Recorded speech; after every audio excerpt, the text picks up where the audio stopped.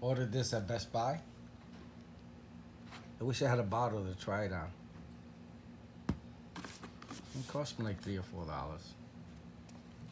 I think three dollars. Automatic bottle cap opener. It's pretty cool. It's very large in size. It's like a hard plastic. Looks like a bottle cap. Top of a bottle. I guess you put the bottle in here.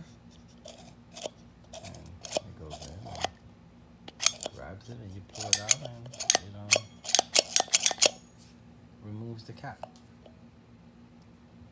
Sorry, I don't have a bottle with a bottle cap on it to try it out. So this is gonna be pretty much in the kitchen just in case we ever have that situation.